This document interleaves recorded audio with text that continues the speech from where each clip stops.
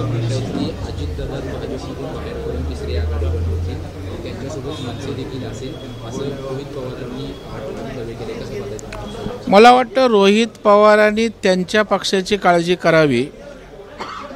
अजितदादा सक्षम आहेत परिपक्व आहेत. राजकीयदृष्ट्या काय करायची याची जाणीव त्यांना नेमकेपणानं आहे.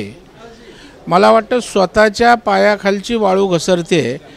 म्हणून आता अजितदादांची चिंता रोहित पवारांना त्या ठिकाणी लागलेली आहे.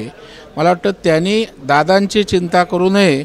आपल्या त्या ठिकाणच्या जामखेड मतदारसंघामध्ये आपला तालुका अध्यक्ष गेला त्याची चिंता करावी.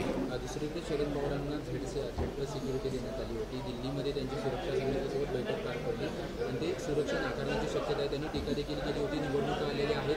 म्हणून कुठेतरी माझी माहिती देण्यासाठी झेड सुरक्षा नाही मला वाटतं सुरक्षा कोणाच्या मागणीवरून दिली जात नसते तर सुरक्षा यंत्रणेची जी काही सिस्टीम आहे त्या सिस्टीममधनं आवश्यकता पाहिली जाते धोका तपासला जातो आणि त्यानंतर सुरक्षा पुरवली जाते. कोणाला हवी कोणाला नको म्हणून सुरक्षा कोणाच्या मागणीनुसार दिली जात नाही. आता त्यांनी नाकारल्यावर काय करायचं? ही संबंधित सुरक्षा यंत्रणा किंवा खातं ठरवेल.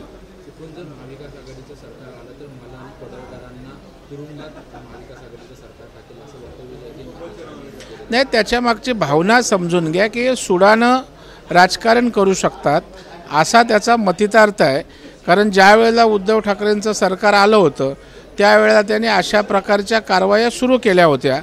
आणि त्याच्यामुळं ती एक त्यांनी भूमिका मांडली.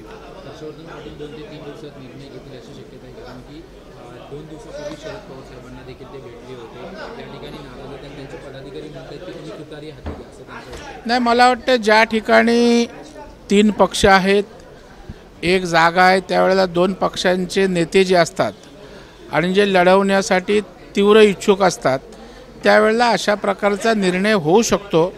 परंतु मला वाटत नाही की हर्षवर्धनच्या संदर्भात काहीतरी मार्ग त्या ठिकाणी निघेल अशा प्रकारची आम्ही अपेक्षा करतो कारण ते एक चांगले नेते आहेत प्रचंड जनसंपर्क असणारा नेता आहे. ते जाऊ नयेत असं आम्हाला वाटतं पण शेवटी तिकीट हा जर विषय असेल आणि त्यांना इथून तिकीट नसेल मिळणार आणि तिकडून हमी असेल तर जायची शक्यताही नाकारता येत नाही.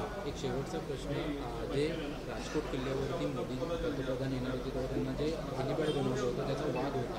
त्यावरती नारायण राणे म्हणतात दोन ते तीन दिवसात काही लगेचच जरी हेलिपॅड झालं दहा कोटी रुपये जरी खर्च झाला तरी त्याला काही प्रॉब्लेम नाही. नाही मला वाटतं जेव्हा देशाचे पंतप्रधान एखाद्या ठिकाणी येत असतात त्यावेळेला तो आपल्या अभिमानाचा विषय असतो. त्याला खर्चा विषय असू शकत नाही.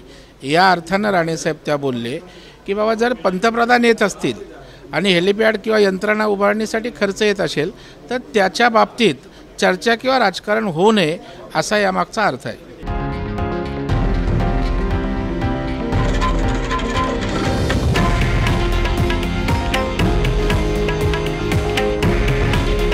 हे आहे देशातील नंबर वन न्यूज नेटवर्क. आणि आपण पाहत आहात टी व्ही नाईन मराठी. काळजी तुमची हित महाराष्ट्राचं.